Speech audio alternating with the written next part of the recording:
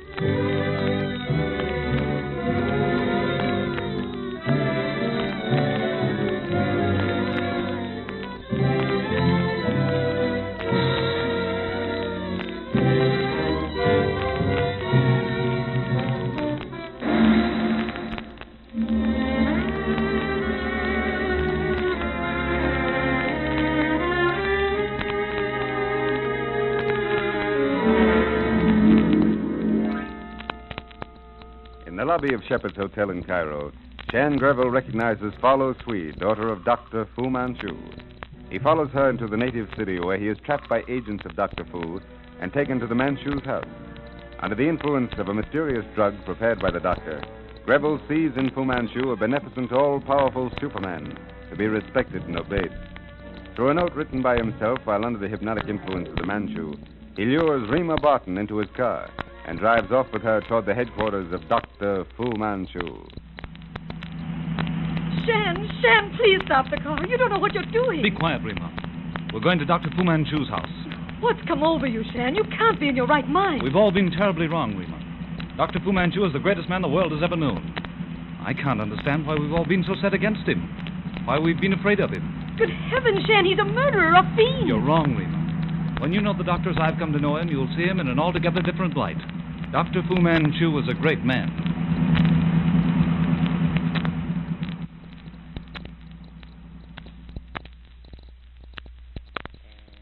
Sit down, please, Miss Barton. What have you done to Mr. Greville, Fu Manchu? You understand, of course, why you are here, Miss Barton. It isn't hard to guess. Mr. Greville is no longer my guest, Miss Barton.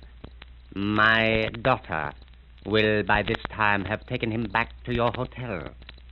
I have no further use for him. But, uh, you. How can I be of use to you? You, Miss Barton, are the medium through which I shall gain possession of the Mokanna relics.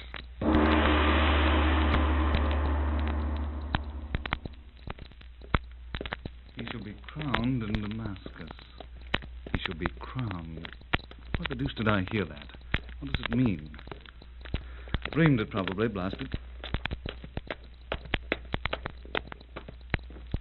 Why, the hotel's dark. It must be. Great Scott, it's three o'clock. Not a soul in the lobby.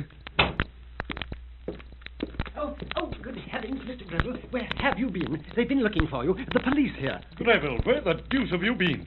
Ah, I don't know, Weymouth. Uh, Where's Sir Lionel? Where's Smith and Rima? Out with the search party. It's a good job I came back a few minutes ago for news. Search party? Where are they searching? All through the Babelzuela section, acting on information given by the taxi man who drove you there. I suppose he came back. Yes. You look pretty well done in, Greville.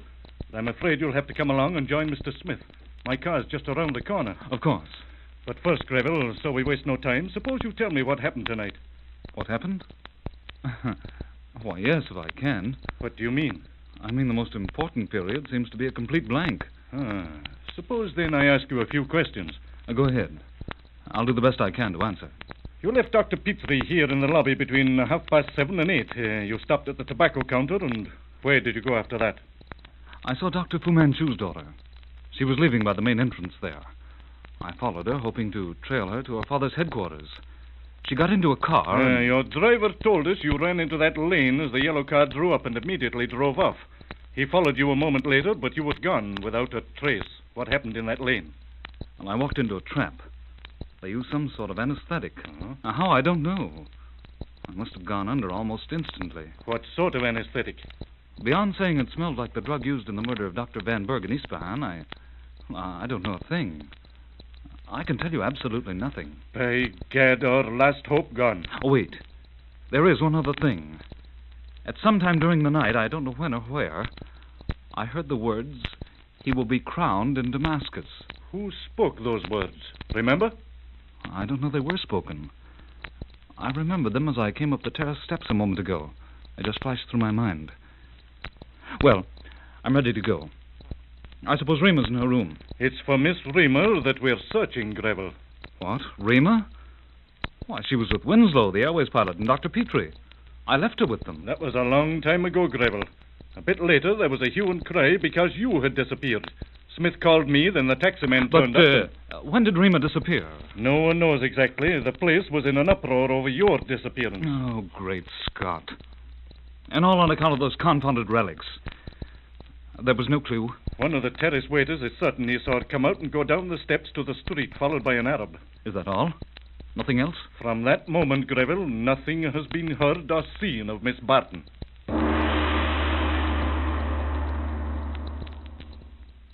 Look at me, Greville. Now listen. He will be crowned in Damascus. Oh, I see you've got it. What are you thinking about? Quickly.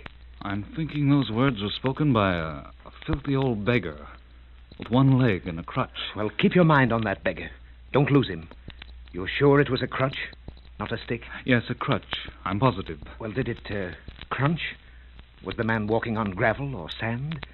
On stone, I'd say. It was a clear tap. Did he speak English? Yes. Did he say Damas or Damascus? Uh, Damascus. Well, go on. It's. It's gone, Smith. I'm sorry. Ah. Well, recalling those words certainly relieves my mind of an anxiety regarding Rima. How so? It confirms my first opinion that her disappearance was cleverly arranged by the Fu Manchu group. Good heavens. If she's in his hands. Oh, she won't be harmed. I'm certain of that. She's been taken for a very definite purpose. There was a moment when I thought she'd vanished for, well, personal reasons. You understand? You mean. Fah Lo Suee? Yes. A jealous woman will hesitate at nothing. Well, buck up, old man. Take my word for it, we'll have news of her before noon.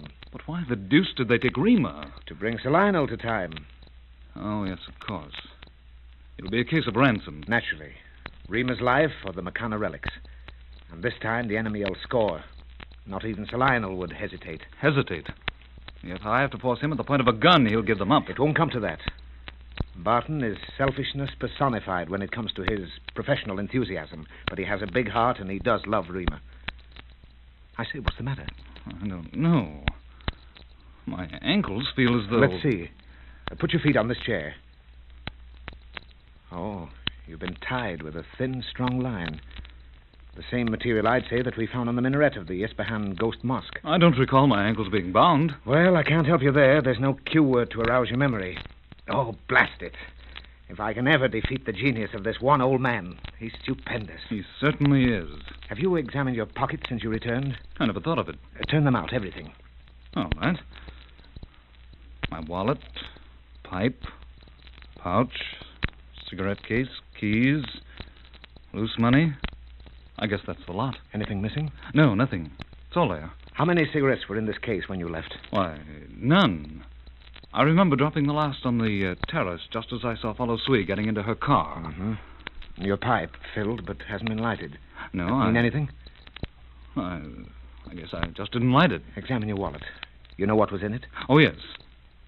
By Jove, look here. This envelope. It wasn't there. That's not mine. Hmm. Shan Greville, personal. You know the handwriting? Seems to me I should. Looks familiar. Oh, you, you've seen it before? Yes, I've seen it somewhere. Horizontal green ink. It's addressed to you, marked personal. Why not open it? Oh, yes. Uh, thick green notepaper. Oh, a green silk bag with a small capsule. Well, read it, read it. I don't want you to suffer for what I've been compelled to do. You love Rima. If she does not come back, trust me. I'm not jealous. I send you a tablet which must be dissolved in a glass of white wine and which you must drink at once. I trust you also to burn this letter. To help you, I say, he will be crowned in Damascus. Hmm. Do those words now take you back any further? No, it doesn't mean a thing to me. But the writing, whose is it? I've only seen it once, but it's the writing of Fah Lo Suee. Sure of that? Positive. Oh, Lord, it's the old story over again. But this time we're dealing with a different type of woman. Dare we trust her? I'd just as soon think of following her instructions as of jumping out of that window. This capsule. Now, wait. Don't throw it out. You jump to conclusions too quickly. Old boy, can you think of any reason why they'd want you out of the way? No. But we've had experience in the past of the dangerous actions of persons under the influence of Fu Manchu's drugs. Nevertheless, we'll keep this little capsule. It may come in handy later. Now, look here. You're fagged out. Petrie's due back shortly. I'm going to have him put you to sleep. Right. But not for more than an hour. I can't think of sleeping while I might be of help to Rima. Meantime, I want to photograph this letter. Then you'll want to destroy it, of course. Anything you say, Smith. I... Oh, excuse me. Hello. Oh, yes, Weymouth. What is it? Oh, good. I'll be there in ten minutes. News? Rima? Weymouth's men have picked up one of those slave coast wharfs Fu Manchu uses. They want me to question him. I'll go along. You'll stay here and wait for Petrie. If I learn anything, I'll get in touch with you.